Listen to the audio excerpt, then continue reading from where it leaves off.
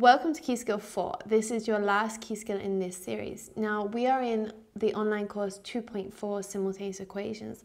In this section in Key Skill 4, you're going to need a lot of the stuff that we learned in 2.3 Quadratics. A lot about the real, imaginary, or single roots of quadratic equations. I'm going to do a quick recap here, but if you haven't done 2.3, I would definitely recommend that you should know all that stuff before starting this. Now the quick recap is going to go like this. You should know that the discriminant b squared minus 4ac, so we get the abc from the quadratic equation, is bigger than 0 if you have two roots. Now in our case,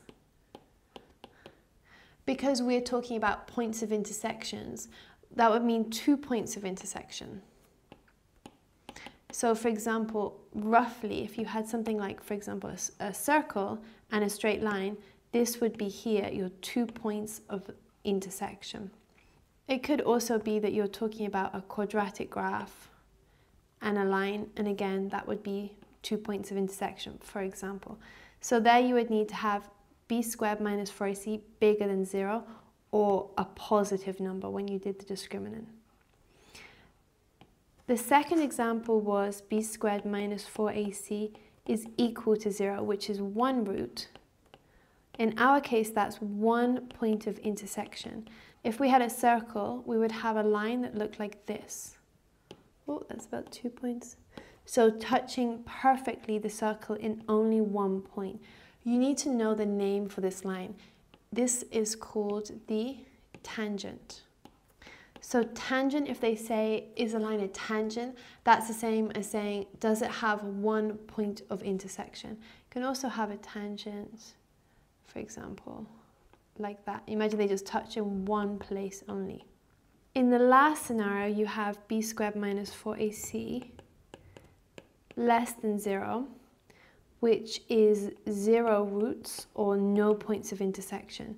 So you can have something like a circle here, and a line here or a quadratic graph here and a line over here, you can see that they are not touching. There's no points of intersection. So in that situation, you'll do b squared minus 4ac and you'll be looking for a negative number. Let's read the question. Does the line y equals 2x minus 1 intersect the circle, this is the equation of the circle? So we put a little question mark here. So what we're going to do is, as before, we're going to take our linear equation in blue and substitute it into our quadratic equation, which is the equation for the circle. So here we go. x plus 5 squared plus, now the y I'm going to replace with 2x minus 1. There's a plus 3 squared equals to 25. Now x plus 5 squared plus 2x minus 1 plus 3 is 2x here, plus 2 squared equals to 25. Multiply out these brackets. Oh, two sets of brackets to multiply out. So the beginning steps are exactly the same as when you're finding the point of intersection. So it's going to be x squared plus two lots of 5x, so 10x plus 25. And here 4x squared. Do all. Plus, so that would be your 4x squared. Also, that would be your 4x squared. Plus 4x plus 4x plus 4 equals to 25. x squared and x squared is 5x squared. Um, plus 10 plus 4 plus 4, so that would be 18x and we would have a 25 plus 4 is 29 and I'm going to bring the plus 25 over here. So that's a lot of tidying up. At this stage here, once you reach this stage here, it's where the two questions are slightly different. If you were asked to find the points of intersection, what you would do now is factorize that quadratic, get your two answers, and then go back to your y equation. So that's what we've been doing in key skill 2 and key skill 3. But in this situation, we've been asked, do they intersect? So we're going to be back into one of our three situations. And yes, they intersect, they intersect twice. they intersect once or they don't intersect at all. So I'm going to take my A, B, and C.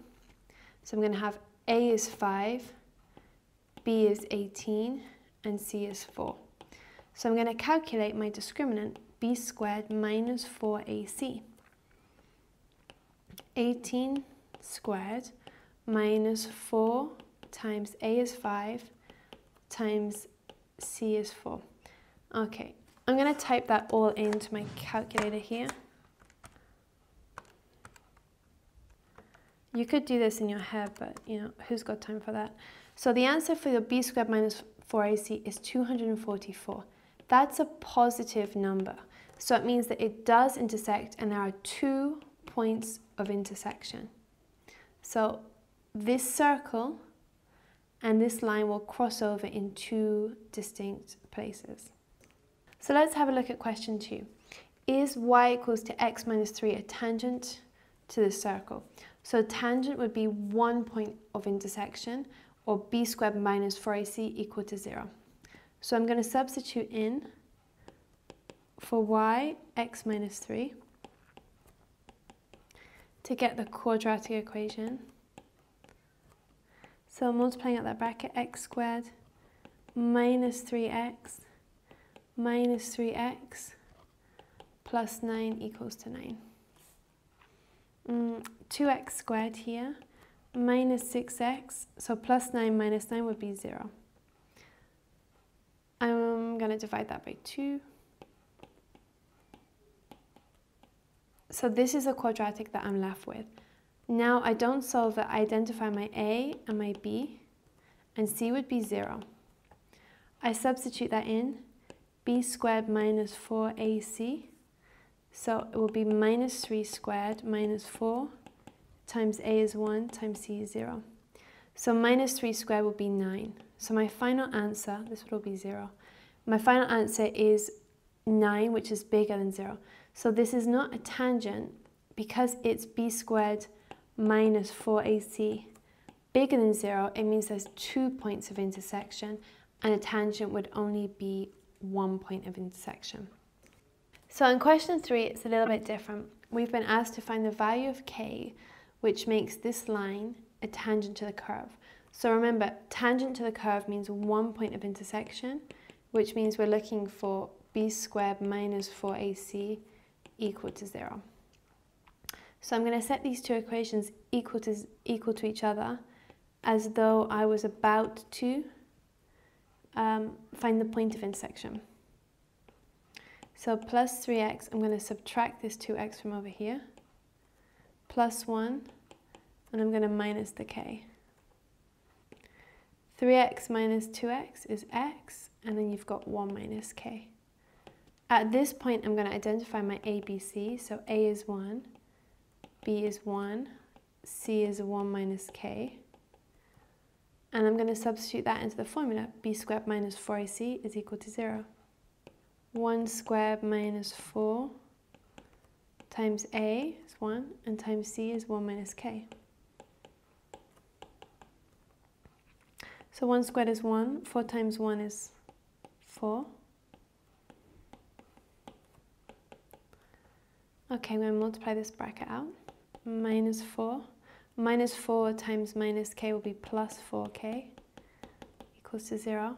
Here, 1 minus 4 will be minus 3 plus 4k equals to 0. Bring the minus 3 over to the other side. Bring the multiply 4 to the other side and change it to divide by 4. And you've got your final answer, which is k is equal to 3 over 4. And that brings you to the end of the Key Skill 4 videos.